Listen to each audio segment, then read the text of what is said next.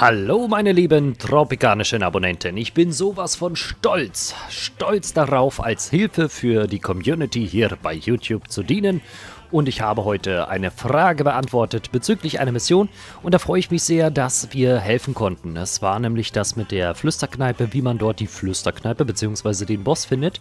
Das mit der Flüsterkneipe ist ja wirklich nur ein Titel, den äh, pf, ja irgendeine Kneipe hatte. Und den Boss finden wir natürlich über den Almanach. Ja, ich freue mich riesig. Also das ist toll, dass äh, die Let's Plays tatsächlich dafür genutzt werden. Vielen lieben Dank für die Nachfragen in den Kommentaren. Und ich freue mich auch auf äh, weitere Dinge, auch Tipps und Tricks, wie ich natürlich das mit der finanziellen Situation immer wieder hochkriegen kann. Das Problem ja bei dieser finanziellen Situation ist, dass jedes Mal, wenn ich irgendwas baue, womit ich Geld kriege, dann wieder neue Leute nach Tropico kommen. Dann muss ich wieder eine Polizei, eine Klinik oder eine Garage oder sonst was bauen. Und im Anschluss sind wir dann wieder da und äh, brauchen wieder Geld. Hm. Es ist einfach bloß zum Heulen. Es ist ein ewiger Kreislauf und teilweise viel zu schwierig. Da ist das Balancing nicht unbedingt gut. Und das, obwohl man mehrere Möglichkeiten nutzt, um an Geld zu kommen. Egal, ob es der Broker ist, egal, ob es die Handelswaren sind, egal, ob es äh, ja, die Überfälle sind. Also wir machen ja wirklich alles, um irgendwie an Geld zu kommen und wenn es eben nur eine Schatzjagd ist. Aktuell sind sie noch bei, das Taj Mahal zu rauben. Jetzt muss ich mal gerade gucken, wie weit die eigentlich sind. Dauert noch ein bisschen. Wir mussten ja jetzt warten, 1080 Tage, so war das, genau. Und brauchen unsere 50.000 tropikanischen Dollar. Ach, es dauert, es dauert und zieht sich damit auch ewig in die Länge, aber wir kriegen das schon hin. So, Fisch kommt. Die Konservenfabrik hat jede Menge Waren und kann eigentlich ganz, ganz viel produzieren, aber die Leute, die sind andauernd nur unterwegs. Vielleicht sollten wir hier unten auch nochmal Spaß für diejenigen hinbauen, aber ich glaube, das muss nicht unbedingt sein. Wie sieht es denn allgemein aus mit der Zufriedenheit der Bevölkerung? Soweit ganz gut, bis auf dass die Gesundheitsversorgung immer noch ziemlich schwächelt. Das heißt, wir brauchen noch einen weiteren Arzt, denn der ist voll belegt. Auch dieser Arzt hat sehr, sehr viele Patienten. Wir brauchen noch irgendwo einen... Äh, Lass uns mal gucken. Vielleicht hier drüben, dass die auch nochmal einen Arzt bekommen. Die haben ja jetzt eine Kapelle bekommen. Die haben eine Taverne, um wenigstens ein bisschen Spaß zu haben. Selbst in die Kapelle gehen sie nur selten. Ein Feuer wütet auch noch in Tropico und das auch noch direkt am Strand. Ihr könnt auch selber das Wasser löschen, äh, das Feuer löschen. Oder nicht. Da läuft er rüber und löscht die Brände. Hast du gut gemacht. Bin stolz auf dich. Ja, manchmal läuft's, ne? Manchmal läuft's.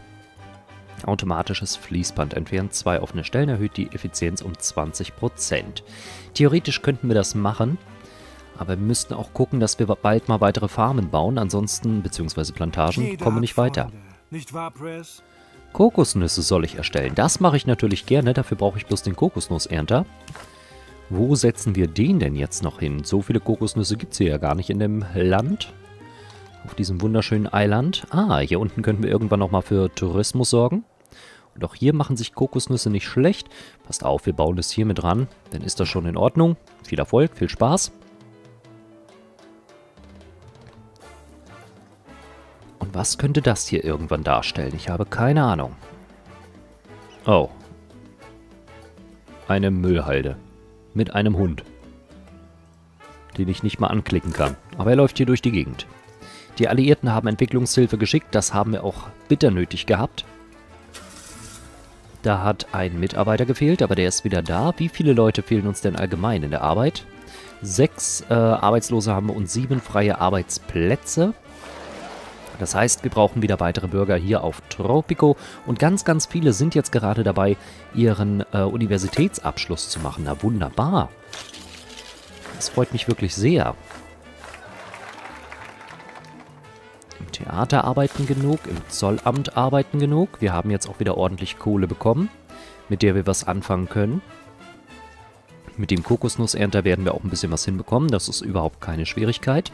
Und wir gucken mal, was wir noch für weitere Fabriken fertig machen können. Eine Schiffswerft wäre vielleicht nicht schlecht. Schiffe zu exportieren ist doch auch nicht schlecht. Verarbeitet Planken zu Booten. Verursacht Umweltverschmutzung. Kann passieren. Müssen wir durch. Äh, wollen Sie die Blaupause freischalten? Noch nicht. Erstmal gucke ich, was wir sonst noch haben. Textilfabrik, Stahlfabrik, Waffenfabrik. Stahlfabrik brauchen wir, um Waffen herzustellen, glaube ich zumindest. Und wir brauchten Nickel und Eisen und Kohle. Oh. Nee, das ist mir zu viel. Das ist mir jetzt wirklich zu viel. Was haben wir hier? Oh, wie süß. Einen kleinen Strand, so mitten am Strand. Soll vorkommen. Ja, wir könnten auch noch für Spaß sorgen. Das heißt, äh, ein Kirmespier endlich mal bauen. Hatten wir noch nie. Kann dann hier direkt am Strand stehen.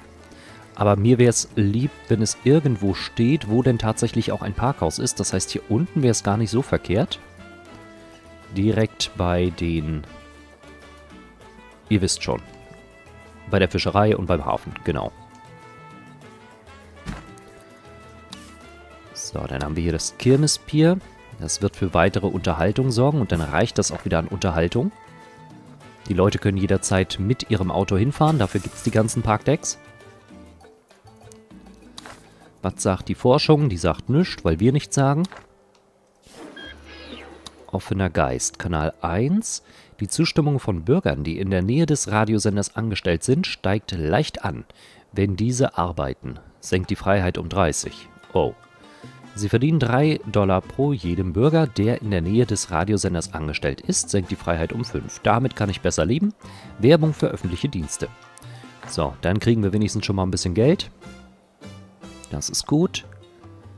Und hier sind ja sehr viele angestellt, ne? Auch gerade eben die ganzen Leute im Zirkus und in der Bank und in der Oper. Ja, kommt auch hin. Palast und überall. Also tatsächlich werden wir sehr, sehr viel bekommen. Und sogar das Kraftwerk ist mit drin. 3 Dollar pro Person ist schon echt nice. Auch hier die Farmen sind auch mit bei. Perfekt. Also wir werden jede Menge Kohle kriegen. Das ist super. Der Frachter hat auch gleich wieder Geld mitgebracht. Danke dafür. Feuer wütet auch noch in Tropico. Was brennt denn hier? Ist das die Botschaft? Nein, die Bibliothek. Wer hat denn die Bibliothek abgefackelt? Leute, sowas macht man doch nicht. Reparieren für 1800. Nö. Das repariert sich von alleine wieder. Das ist mir zu teuer. Wir haben eh kein Geld. Da können wir auch nicht eine Bibliothek reparieren.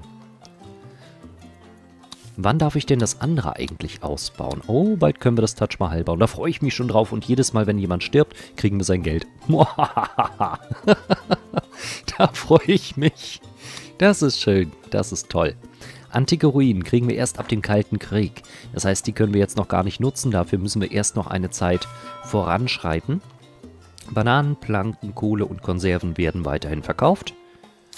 Die Konservenfabrik hat eigentlich genügend Güter. Wie sieht's aus mit den Farmen? Werden die gut abgeholt? Ja, ja, ja, nee, ja, ja. Aber bis auf das eine, und das wurde jetzt gerade abgeholt, ist alles in Ordnung. Das war Mais. Mais wird jetzt auch irgendwo anders hingefahren. Wie sieht es aus mit dem kleinen Laden? Wir hatten noch irgendwo auch einen kleinen Laden da. Ja, sieht auch gut aus. Der hat jede Menge Waren, die an die Leute gebracht werden. Bananen, Konserven, Mais, Kokosnuss, Fisch, Fleisch, Milch, Ananas und so weiter. Das ist alles völlig in Ordnung. Die Alliierten haben auch nochmal Entwicklungshilfe geschickt. Super. Wer bist du? Ach, ein Boot. Muss ich jetzt nicht verstehen, oder? Egal. Wir haben Geld bekommen. Feuer wurde gelöscht. Super, danke dafür. Die Zigarrenfabrik hat keinen Tabak. Das heißt, theoretisch bräuchten wir noch eine Tabakplantage. Farm nicht, nein, Plantage. Rechtsklick geht auch. Plantage für Tabak. Ja, und das sieht schon relativ äh, spektakulär aus hier. Machen wir das so. Und ziehen die Straße einmal hoch und dann hier lang. So, dann haben wir jetzt noch eine weitere äh, Tabakplantage, das reicht. Ananas ist da, Ananas, Tabak, Banane, Mais und Banane. Also wir haben zweimal Bananen, zweimal Ananas, zweimal Tabak, einmal Mais,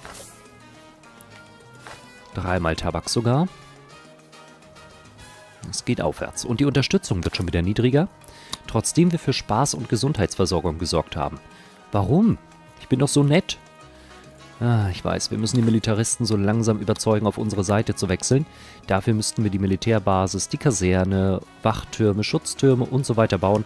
Fangen wir erstmal an mit Schutztürmen, sodass die Leute hier auch nochmal ordentlich äh, abgehört werden.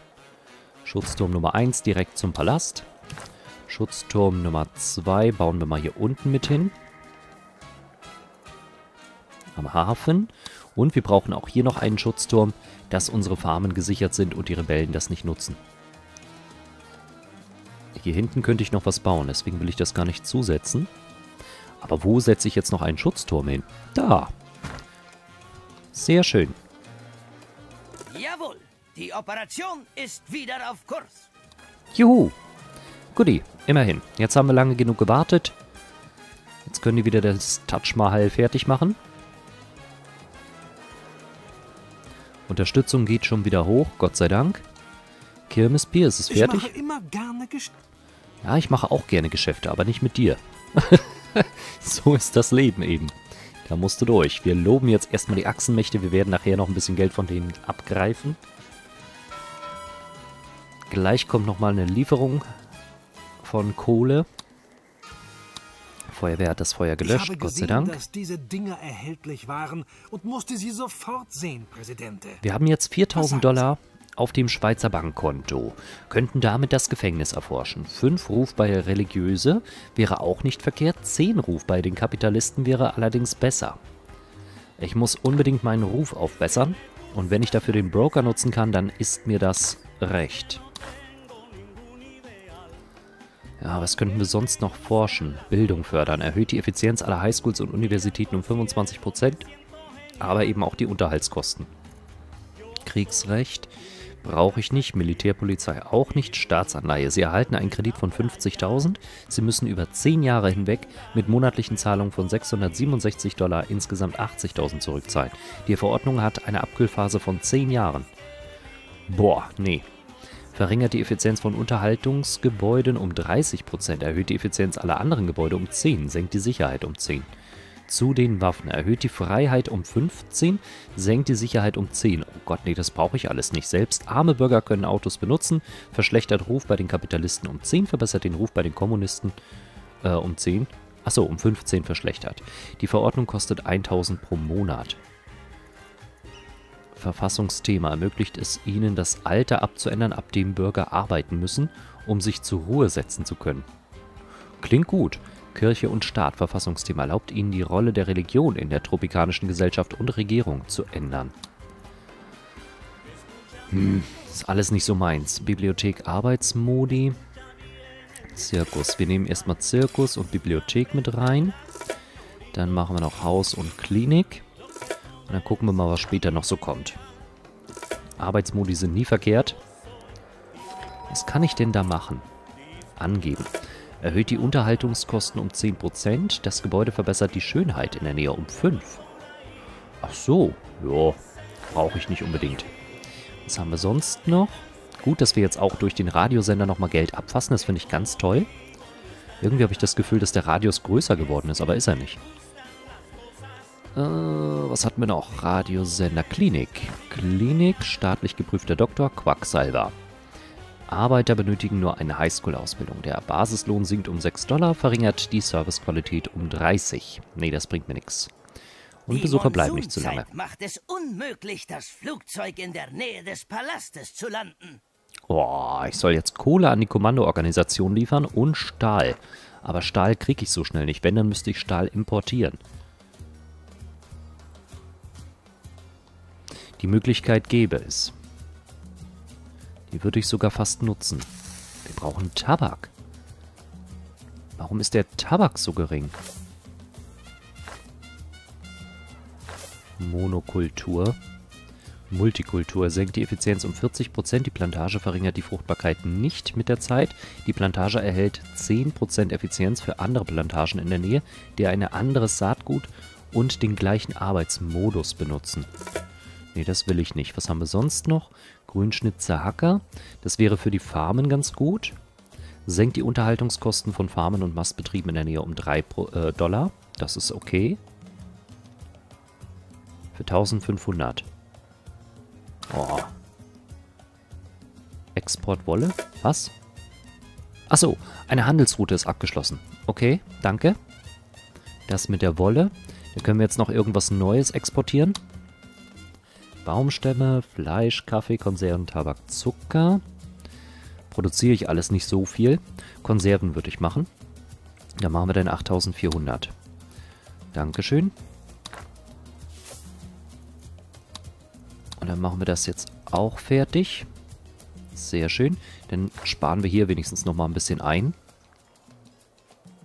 Sind die Unterhaltungskosten auf lange Sicht gesehen günstiger. Wir müssen ja auch langfristig planen. Wir wissen ja nicht, wie lange wir noch brauchen für die 50.000 Dollar. Und das wird garantiert auch nicht die letzte Aufgabe sein. Also ich bin gespannt, was noch alles so kommt. Wer hat denn hier Busgaragen gebaut? Ist ja süß. Und was machen die? Bringen die Arbeiter hin und her?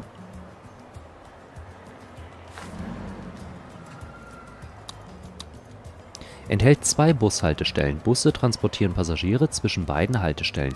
Geringe Umweltverschmutzung. Eine Busgarage garantiert Passagieren ein äh, beengtes, übelriechendes Erlebnis mit Fahrern, die sich für Könige der Straßen halten und langsamere Fahrzeuge gnadenlos von der Straße rammen. Oh, wie nett. oh, wie schön. Da ist eine Bushaltestelle und da ist eine Bushaltestelle. Ah, so sehen wir mal die Bushaltestellen an sich. Siehst du, da oben ist nicht mal eine. Da müssen die tatsächlich mit dem Parkdeck hin. Aber zwei Bushaltestellen ist ja eigentlich nicht verkehrt, ne? Hier gibt es auch keine Bushaltestelle. Schade. Ich habe echt gedacht, die könnten auch mit dem Boot rüberfahren oder so. So, da kommt wieder Kohle rein. 19.000, immerhin. Konserven werden verkauft. 17.000?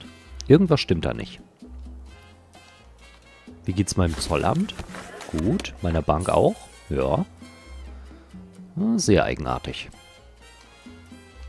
Wollen wir mal noch ein paar Leute loben? Ach, kann ich gerade nicht. Bündnisanfragen. Oh, wir sind bei 90 bei der Beziehung mit den Achsenmächten. Aktiviert Bündnis. Verbannt die Supermacht aus ihrer Botschaft und senkt deren Beziehung zu Tropicos. Nö, wir bitten jetzt erstmal um finanzielle Unterstützung. Dann sind wir wieder bei 30.000. Das geht. Und ich glaube, dann bauen wir davon auch gleich eine zweite Botschaft, in der wir dann die Alliierten unterbringen. Ja, das ist nicht verkehrt. Gut ist, dass man aktuell nur eine Feuerwache braucht. Damit kann ich leben. Wir haben jetzt 511 Bürger. Sieben davon sind arbeitslos. Wie viel sind obdachlos? Obdachlose Familien 50, leerstehende Wohnung 18. Okay, wir brauchen noch ein paar kleinere Häuser. Ja, machen wir mal solche. Dann ist auch gleich die Wohnqualität wieder höher. Wo stellen wir die hin? Auf jeden Fall dort, wo Leute arbeiten. Hier arbeiten Leute. So, dann noch ein Haus. Hier drüben mit dran, weil hier eben auch sehr viel ist mit Kirche und mit Unterhaltung und so weiter. Das ist, glaube ich, gar nicht verkehrt. Dann brauchen wir ein Haus mh, hm, hier.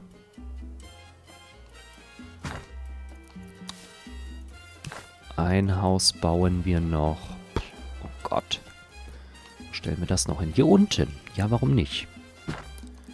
So, und dann kommen noch Baracken. Zwei Stück reichen. Dann bin ich soweit zufrieden. Dann haben wir auch jede Menge äh, Möglichkeiten geboten, dass die Leute wieder hier wohnen können. Hier kann noch ein weiteres Haus irgendwann stehen. Aber das reicht. Wohnungen sind genug da für unsere tropikanischen Einwanderer. Alles ist okay. Mit der neuen Botschaft werden wir dann auch die Alliierten loben und versuchen, deren Geld irgendwie zu bekommen. Außenministerium. Wir könnten noch jemanden benennen. Erhöht die Effizienz von Überfallgebäuden um 5%. Sie erhalten 1000 Dollar auf das, äh, 100 Dollar auf das Schweizer Bankkonto jeden Monat. Ja, her damit. Ah, das ist der Broker-Kandidat. Naja, gut, ist okay.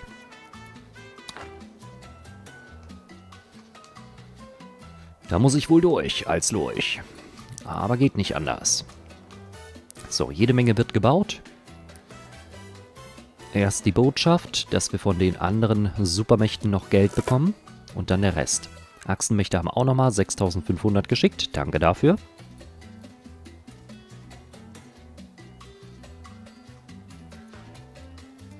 Das Geld wird wieder mehr. Da wird auch noch was abgeholt. Dann sind wir wieder um 11.000 reicher. Sehr gut. Was könnte hier noch eigentlich sein? Da könnten noch Schätze schlummern, die wir ebenfalls verkaufen können.